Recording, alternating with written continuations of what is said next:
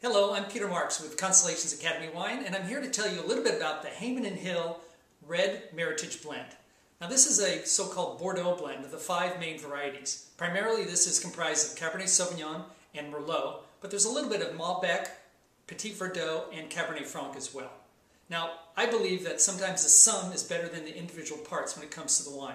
And so is the case with this. You're gonna, you're gonna love the ripe plum and deep dark cherry notes, and also a little bit of cocoa spice from the oak. If you taste this wine, mm, it's rich, full-bodied, but lovely tannins that are smooth and lush and velvety on the palate. You're going to enjoy this with all sorts of grilled meats, especially steak, pork, and maybe even some spare ribs. So try the new Hayman and Hill Meritage, and I hope you enjoy it as much as I do. Cheers!